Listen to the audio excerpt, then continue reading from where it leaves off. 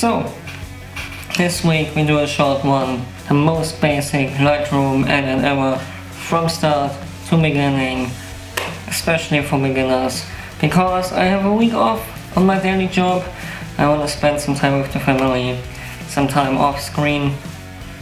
The studio came together quite nicely, I still have some trash laying around, some bags that didn't find a place yet, but let's not go too much detail and let's start the edit.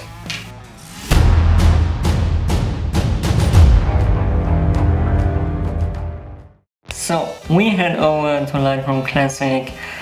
As you can see, I took a picture on the weekend from a lake nearby. Pretty basic picture, not the best picture in the world, but a good picture to showcase what we are doing today.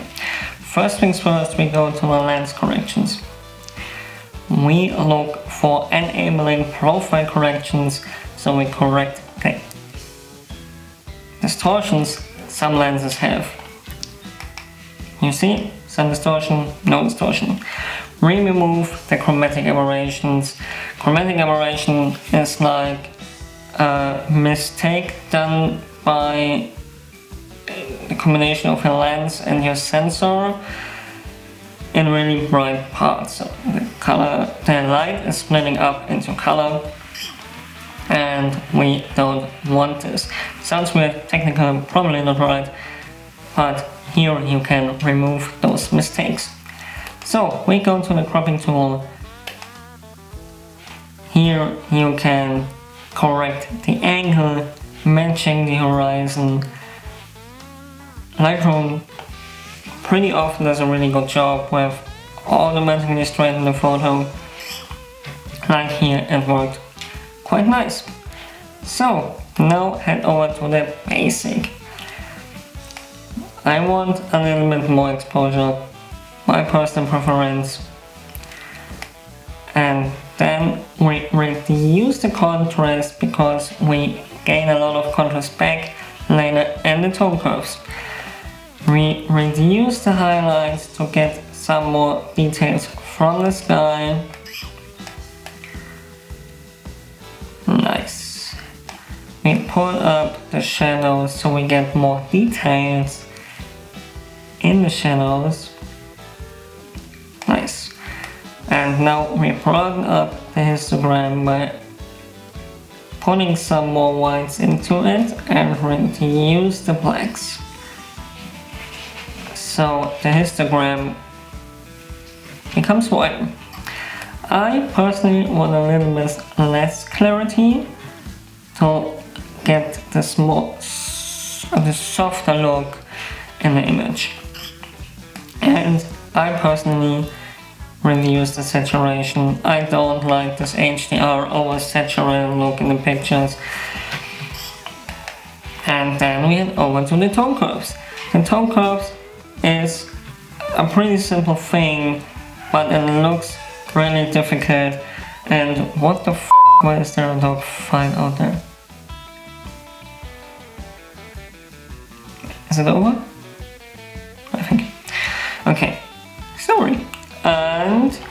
Are the tone curves. Tone curves are pretty easy. On the right hand side, you have the highlights. On the left hand side, you have the shadows. So left hand side, dark, right hand side, bright.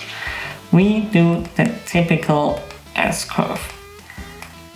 We darken the shadows, we line up the highlights. This is for all for the picture overall. Now we get to the red channel. As you see, there is red, and this greenish bluish color we do the same thing this looks weird at first but if you do this on all the colored channels you will see that this we add a nice contrast a nice stylization in the picture we darkened the yellow parts we took some more light into the blue parts. The dog is still fighting out there. and so we look into the before and after. Nice. So much more contrast. The colors got punchier. This is what you want. So we go to the color mixer. There we have these three options. Hue is like the tone of your color. Saturation is how much color is in there. And luminance is how bright those colors are. We start with the hue.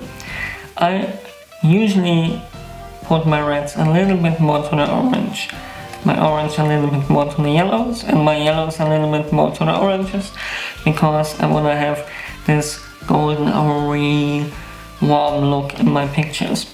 Then we look at the greens. Are there any greens? Yes, we have some greens there. And I want to have those a little bit greener to match the overall look. No aquas there really. We have a lot of blues because of the sky and the water. I want to have the water a little bit greener for a more filmish look. Do we have any purple? We have a little bit purple back there. And I want to have this purple a little bit more on the bluer side to match the sky and the water. Probably no magenta there. Right. Now we go to the saturation. I usually put a little bit more saturation in the reds to get things like this thing back here a little bit popping out. Then we go to the oranges. I desaturate the oranges sometimes if it's too much on the golden arrow. I think there we can put a little bit more in there. I tend to reduce the yellows always to get a better green tone because of the yellow which is in the greener colors. And then we look at the green we have here. We can boost it a little bit up. Probably not much happening in the aqua again. And then we have the blues. There is really much happening. I want to reduce a little bit now because I don't want to have this unnatural oversaturated blue tone. I want to have some kind of a good rep uh, reputation of what I saw at the day. Probably not much happening in, in the purples back there. Can reduce it a little bit to get that purple haze um, reduced back there. Probably not much happening in the magenta. Yeah. So luminance, let's brighten up some parts. Brighten up the reds a little bit. Brighten up the oranges a little bit. Even the yellows. So we get all the details there. In the greens, a little bit more not much happening with the aquas. And maybe a little bit less in the blues, so it looks a little bit more dramatic. Nice. And then we brighten up the purples a little bit so we get a little bit more details here in the back. And this was it with the color mixer. Now color grading. We know the most basic thing in color grading ever to get a really nice look there. We make the shadows a little bit colder and the highlights warmer. So the dark parts cold, the bright parts warm. So you get that kind of orange and teal look. Not that much, don't overdo it. Before after, before, after. So we have this nice firm kind of look, a little bit vintagey. So the details. We don't need to adjust anything on them because it's more like a thing for printing, less for posting in the internet, and most people nowadays, to be honest, post their pictures on Instagram or other social media platforms. So we just ignore that. Lens corrections, we already have been there. Transforming, we have nothing to do there. We don't want any lens blur. And effects, we don't want to have any vignetting, but so you know, there you can do that. What we do is, now we look into the detail, we want some grain. Not that much grain, but a little bit more.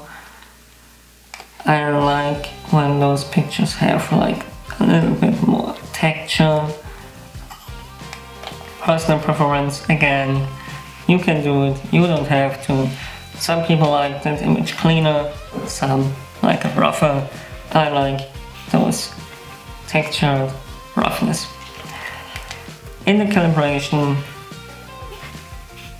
point, it's difficult to explain what you actually do there. It's another way of color correction um, which is happening for all the other sliders. Uh, well, some guys once explained to me like you calibrate the colors coming out of the camera. I don't know if this is correct. It sounds kind of wrong to be honest. But yeah, it's another way of color correction. Let's make it easy. Don't complicate such things too much.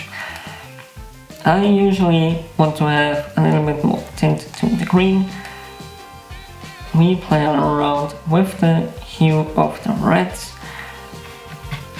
I want to have them a little bit more on the right hand side, but less saturated. Same thing with the primary green color. A little bit more on the right, a little bit less saturation. The primary blues. Sorry for all the sounds in the background. I don't know what the people are doing today. Little bit more on the left side and a little bit less saturated.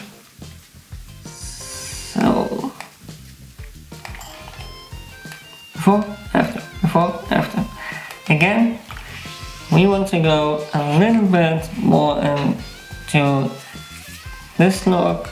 So, before we go into the mask, after adjusting the calibration, I need something to drink.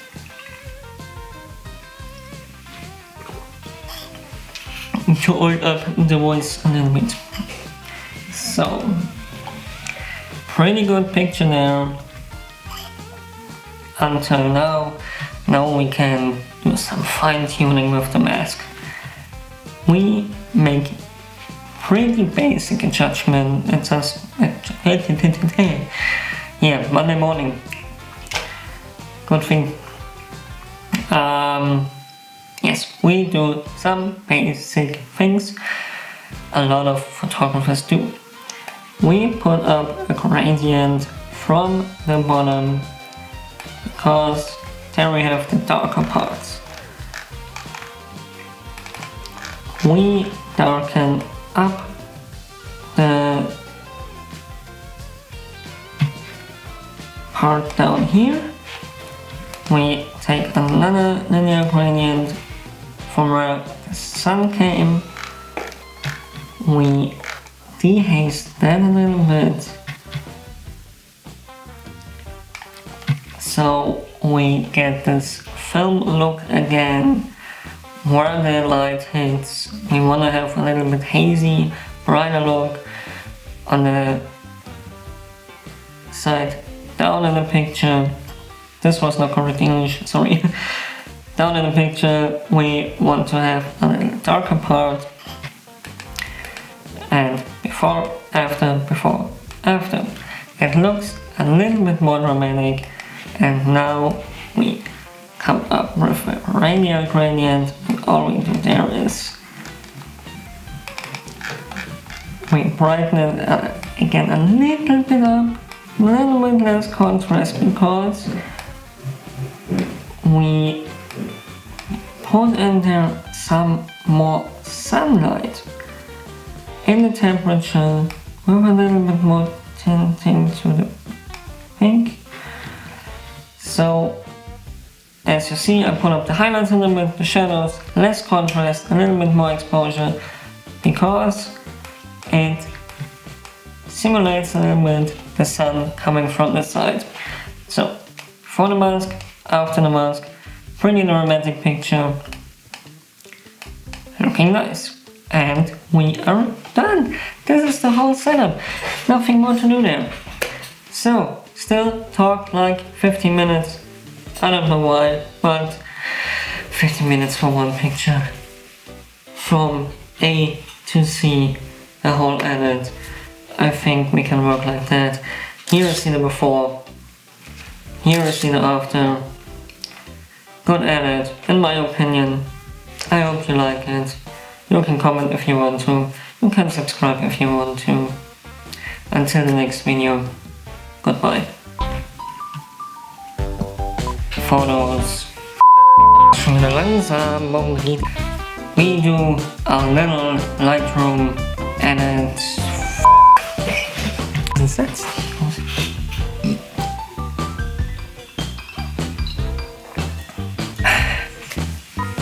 So, hi, that's me.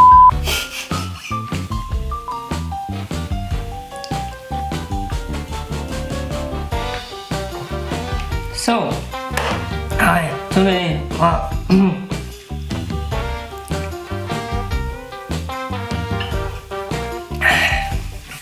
so, this week we are do a short one. Das war auch schon wieder